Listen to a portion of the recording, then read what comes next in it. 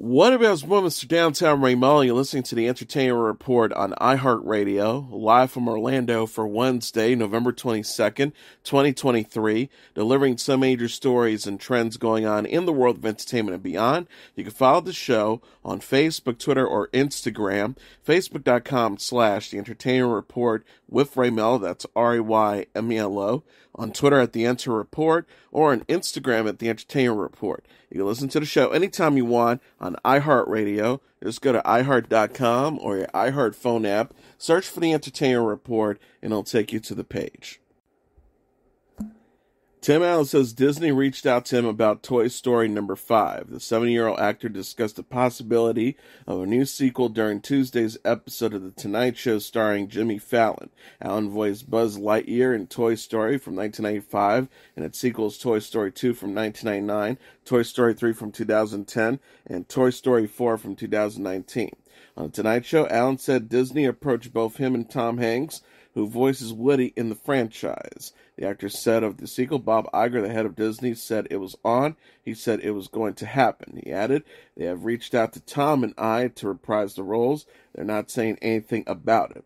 Allen has wondered if 5 is going to be too much, but said that the writers working on the sequel have some interesting ideas. He says the writers that are doing it um, wrote one of the best, the better ones. He said, if I didn't get on this right, I wouldn't do it. So it could be a very, very interesting way to reunite.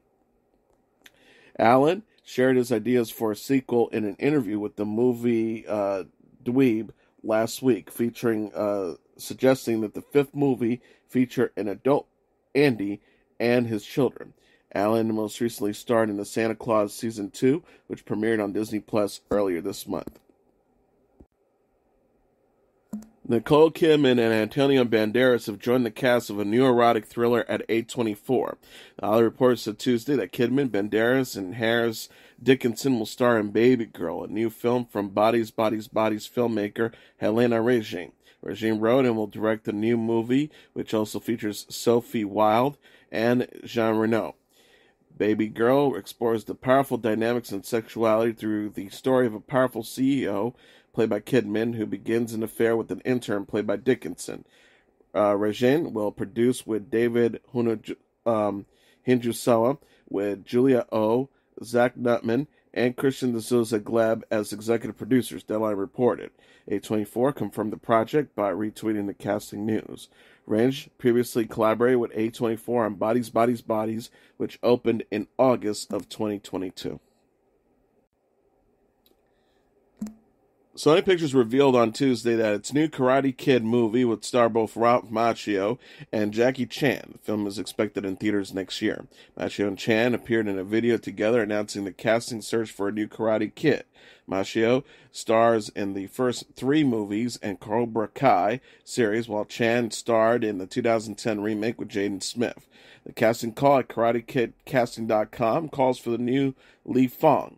The film is seeking a Chinese or mixed race Chinese boy ages 15 to 17 who speaks fluent English and potentially is bilingual in Mandarin. Sony announced a new Karate Kid movie in 2022. Cobra Kai co creator Jon Hurwitz says that the show's creators are not involved and it is a separate entity from the show. Cobra Kai has operated on the assumption that the remake took place in a different universe. A Karate Kid 2 was in the works after the success of the 2010 film, but Smith is now 25. It is fitting that Chan and Macchio mentioned finding the next Karate Kid, as there was a fourth movie starring Pat Morita as Mr. Miyagi called The Next Karate Kid. Uh, the film starred Hilary Swank as a troubled teen. Miyagi trains in karate. Ariana DeBose took to the stage on Good Morning America. The 32 year old singer and actress performed the song This Wish during Wednesday's episode of the ABC Morning Show. DeBose gave the special performance at Disneyland Paris, accompanied by live musicians. This Wish is a song from the animated Disney film Wish, starring DeBose, Chris Pine, Alan Tudyk, Angelique Cabral, Victor Garber, and Natasha Rothwell. The movie, the movie opened on Wednesday. DeBose, who voices Asha in Wish, attended the film's London premiere this week. DeBose wrote out Wednesday on Instagram, wishes yours today. I'm so grateful to this cast, creative team, and the over 100 animators and everyone at Disney Animation poured their heart and soul into our beautiful film.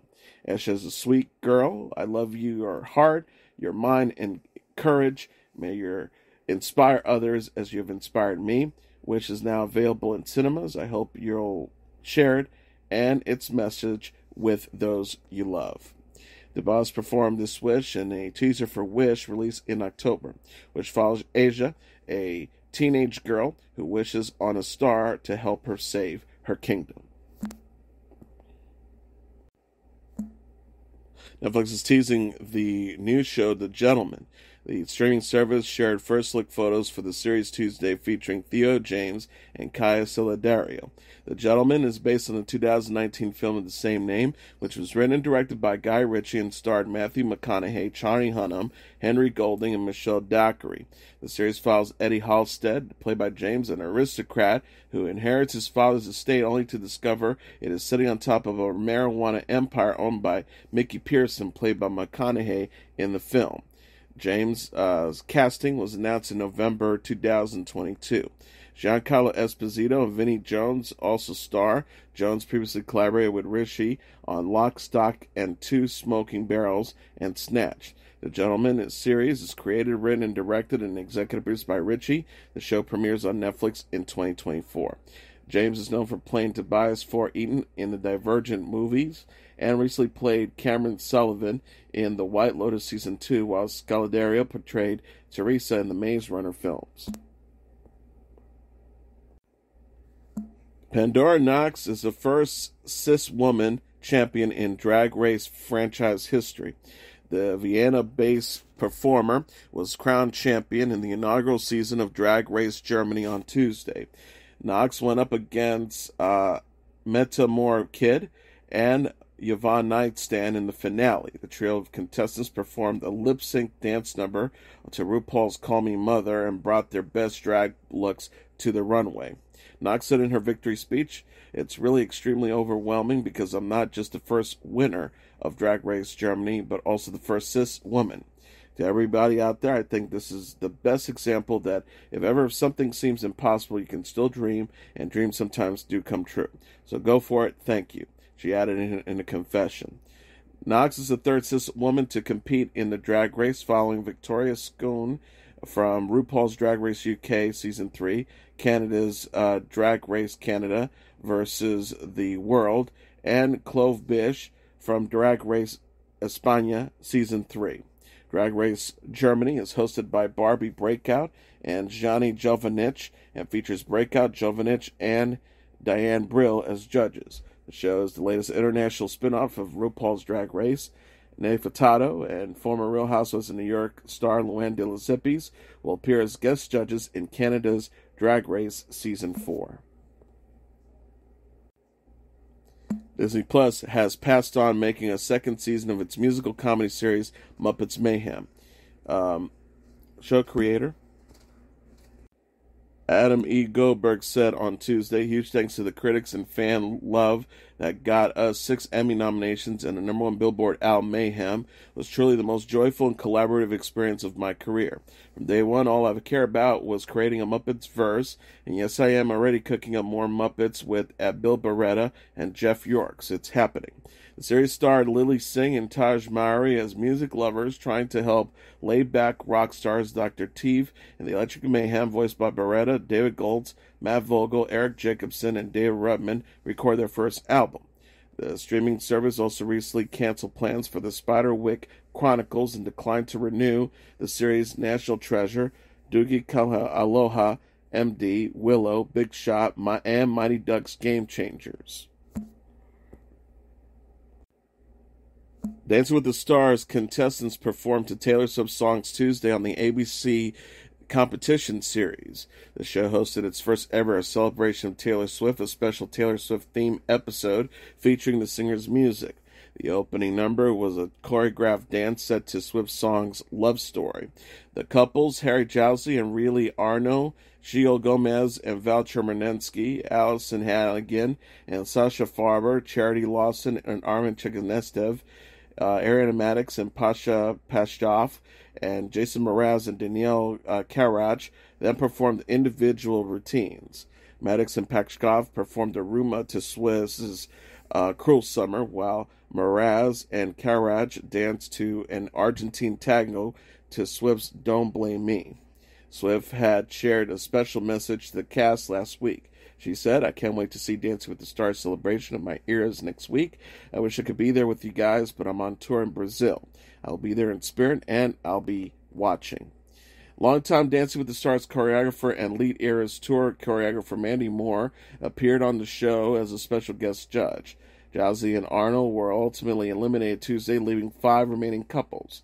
Dancing with the Stars season 32 airs Tuesdays on NBC. It is also available to stream on Disney Plus. Swift is in is in a South American leg of her Eras tour and will next perform Friday at São Paulo, Brazil. The Way Home will return for a second season in January. The Hallmark Channel announced a season 2 premiere date, January 21st, for the drama series Tuesday. The Way Home is a time traveling drama following three generations of women in the Landry family. Teenager Allie, played by Sadie uh, Snow, her mother Kat, played by Chyler Leigh, and Kat's mother Dell, played by Andie MacDowell. Season 2 will further explore the mystery of Jake Landry, played by Remy Smith, Kat's younger brother who went missing. Um, the Hallmark Channel said on social media, Are you ready to find out what happened to Jacob Landry? Mark your calendars, the Landrys are back and ready to solve the family mystery. Season 2 of At the Way Home HC returns on January 21st with hashtag Andie MacDowell at, at uh, Sil- Lee and at Sadie Snow. The Way Home was renewed for season two in March. The Hallmark Media SVP of Development, Lauren Furneaux, said in a statement to Deadline, We're all fell in love with the Landry women and their complex emotional story, and are thrilled that it resonates strongly with viewers. We can't wait for fans to continue this journey, which is filled with more heartfelt drama, emotion, and mystery. Season 2 does not disappoint. The Way Home is created by Heather Conkie Alexandra Clark, and Marley Reed, and also stars Evan Williams, Jefferson Brown, um, Al Mudaddam, David Webster, and Siddharth Sharma. Percy Jackson star Logan Lerman is engaged to be married. The 31 year old actor recently got engaged to his girlfriend Anna Corrigan. Corrigan shared the news Tuesday on Instagram alongside photo booth snaps with Lerman and a video of her engagement ring. She captioned the post, That's Mr. Logie to you. Lerman responded the comments writing, Love you, sweetheart. Actresses Joey King and AnnaSophia Robb celebrated the couple on social media. Lerman and Corrigan have been together for several years. Lerman called Corrigan his best friend while celebrating her birthday in December 2021. He said at the time, she truly makes every day better and brighter. I wake up every morning feeling like the luckiest guy in the world knowing I have this one in my life. Lerman is known for playing Percy Jackson in the Percy Jackson movies and Jonah Heidelbaum on Hunters. He recently appeared in the film Bullet Train with Brad Pitt. Disney Plus is developing Percy Jackson in the Olympian series starring Walker Scobell.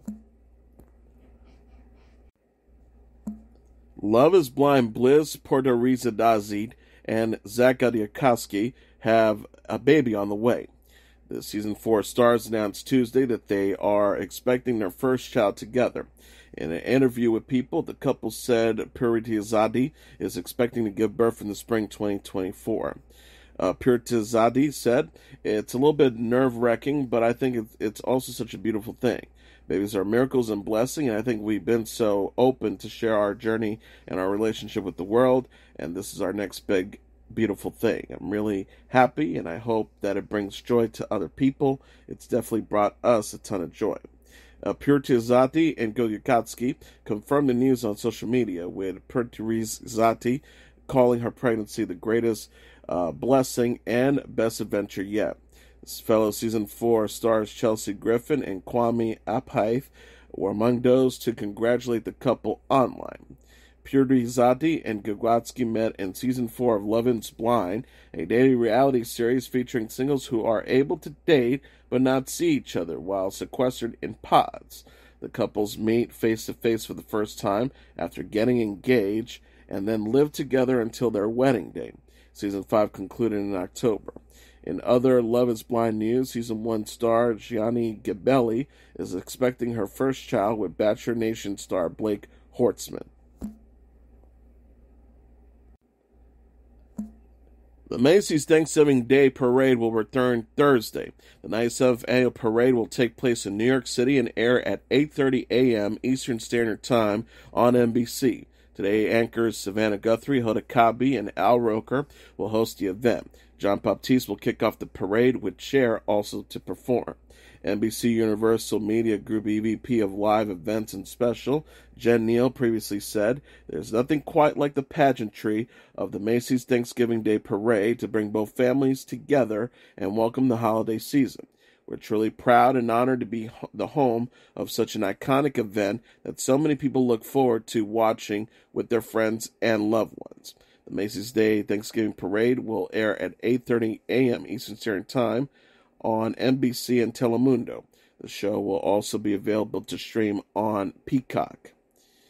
Uh, Bell Biv DeVoe, Brandy, Chicago, En Vogue, David Foster, Katharine McPhee, Jessie James Decker, Ashley Park, and Sesame Street, The Muppets, Pentatonix, Paul Russell, Amanda Shaw, and Alexa Smith, um, Manuel Turizo, and K-pop group uh, ENHYPEN will also be making appearances. The new balloons include Beagle Scout Snoopy, Po mm-hmm. from Kung Fu Panda, uh, Lo from Leo's, Monkey D, Luffy from One Piece, and the Pillsbury Doughboy. The National Dog Show will return Thursday on Thanksgiving. The 22nd annual TV event will air at 12 p.m. Eastern Standard Time on NBC and also live stream on Peacock.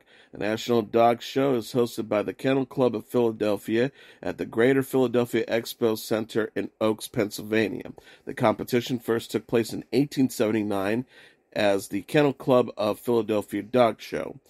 Uh, today, the show features up to 2,000 of the top American kennel uh, club sanctioned dogs from across the country, according to the National Dog Show's website. 205 breeds and varieties are eligible to compete for Best of Breed, First in Group, and the coveted title of Best in Show.